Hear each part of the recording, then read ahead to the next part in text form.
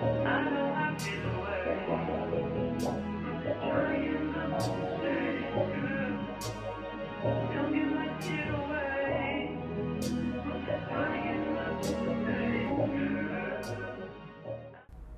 guys, welcome back to my channel. So in today's video, I'm going to be doing another one of my curly wig installs.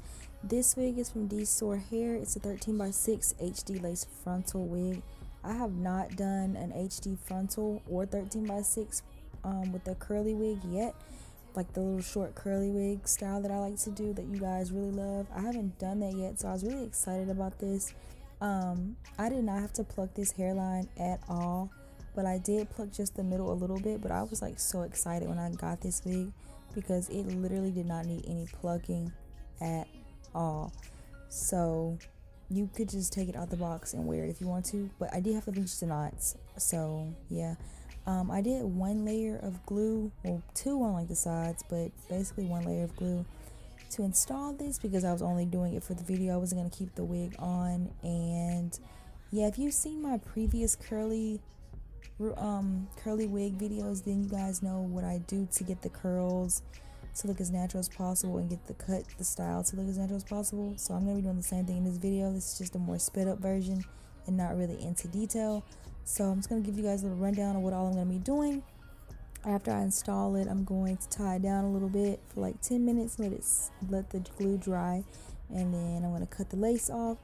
I found this like Ebin lace holding gel at the beauty supply store that I decided to put um, on the lace that was kind of sticking up and um, I definitely should not have used it because it ended up making like the edges of the lace look really crusty and flaky. So um, maybe next time I do a wig I will try to use it. Look at how good the hairline looks. That looks so good. Like no plucking was needed but next time I want to use like a gel to install a wig I'm to reuse the Ebin gel and see if I can get it to look good because I don't know. I just, I guess I did it wrong. I was like applying it on top of the lace and then under the lace, but I just wanted to see if it worked. Like, I know it has good, I know it has potential because like it gets really sticky. Like, it was like really sticky, kind of like glue sticky. So I'm to try it again with a different wig one day. But after that, I just went on to cut the wig, um, add a little layers then blow dry it and then that was the finished look so i'm gonna let you guys just watch the video and if you're not subscribed please subscribe you guys. I really appreciate if you guys did subscribe.